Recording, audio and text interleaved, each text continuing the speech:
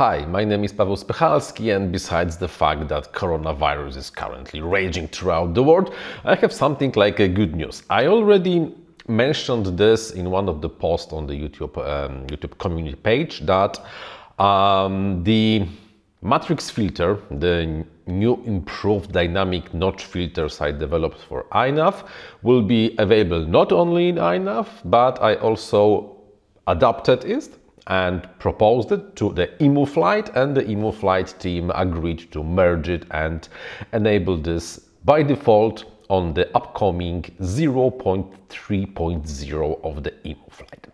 But what exactly is the matrix filter and uh, how does it work and how it differs from a normal filter, normal dynamic notches that we have in, for example, on Betaflight and iNav and also inside of the EmuFlight since like woo, almost forever and how does it different from the RPM filters.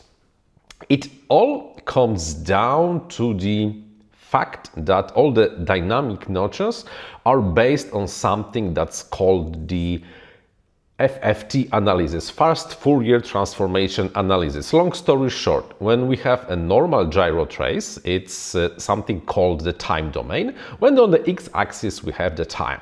However, with the fast Fourier and uh, fast Fourier transformation, we go from the time domain to frequency domain. So, the signal from gyro separately on the x-axis y-axis and z-axis is passed through the FFT and thanks to the FFT the algorithm is able to pick, pick the peak frequencies and usually the peak frequency above a certain minimum frequency is the frequency of the current main noise source that is visible in the gyro trace. Usually that comes from either a motor or a propeller, almost the same, or for example, frame resonance. The most distinguished peak inside of the frequency domain means that there is something noisy on this exact frequency. So this is step one, and this is whole, what the whole gyro analyze part of the all main softwares, Betaflight, iNav, and EmuFlight is doing. Then comes the slight difference. With the standard dynamic notches, standard dynamic gyro filters, if for example a peak frequency of 150 Hz is found on the x-axis on the x gyro traces, then the notch, dynamic notch with the center frequency at 150 Hz is placed on the x-axis. And if, uh, for example, 200 Hz peak is found on the y-axis, the notch filter on the 200 Hz is placed on the y-axis. So we found something here, we apply something here, and this is more or less working. However, this approach kinda misses the fact that there can be more than only one peak, the frequency peaks on the gyro traces. Because think about this like that. If one motor is currently producing noise of 200 Hz because it's rotating so the noise has 200 Hz but the different motor is at 150 Hz and uh, it's not the main frequency on the x-axis but something like a second or the third. But however this for a known known reason is picked up on the z-axis as the primary. Then this notch filter would be applied only on the z-axis the chance that not only the most, the biggest peak on one axis um, is kind of kind of kind of above zero, and uh, the chance that we are actually missing other uh, other frequencies is kind of kind of there, and there is also a chance that the noise frequency, the, no the, noise peak at one axis, not the first one, not the most distinguishable one, is visible on any other axis. So what does the matrix filter do?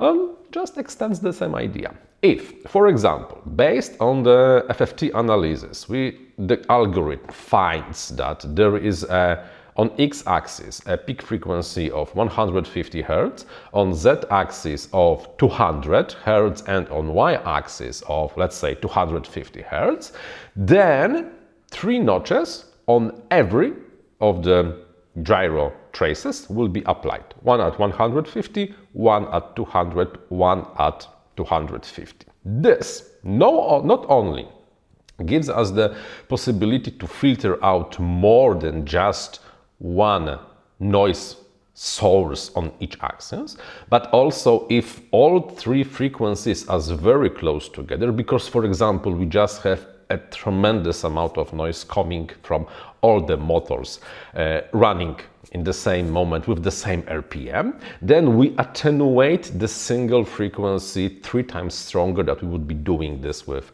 uh, only one notch applied somewhere. Simple solution, simple solution. It's very similar in approach to what the RPM filters does. Because mm, it's almost the same, only the source of the information of the, of the main frequency is different in, in, in case of the RPM filter. In the RPM filter, we check each of the motors compute the frequency of the motor noise based on the motor RPM and apply a separate notch for each motor on each axis. So if we have four motors and three axes, because we usually have, then in total we apply 12 notches and on each axis four notches, one notch for every motor.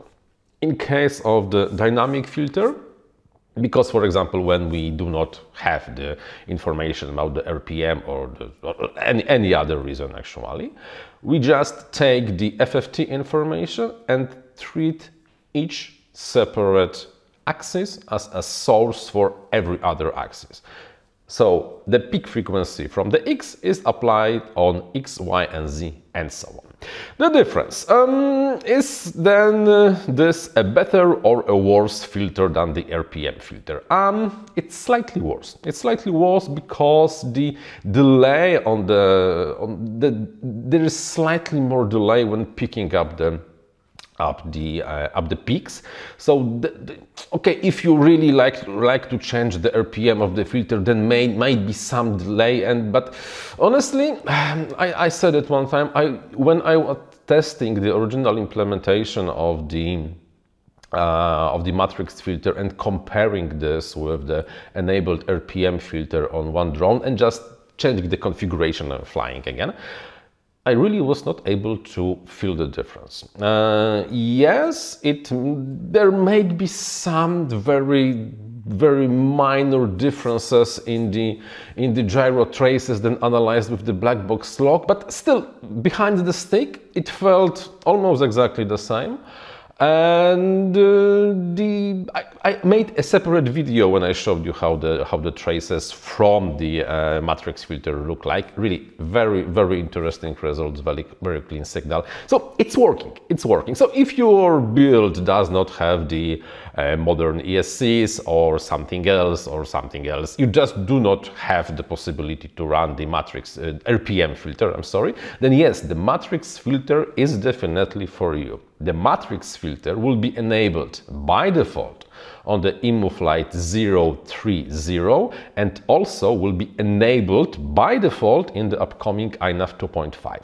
When exactly? Yeah, we have this whole coronavirus situation, so we have no really no idea when we're gonna release the iNav 2.5, but still it will be there and it really brings the performance of the iNav very, very, very close to the performance of the Betaflight. I know what I'm saying. I tested all three, all three flight controllers recently and with the upcoming changes in the iNav 2.5 it will be really it will be amazing.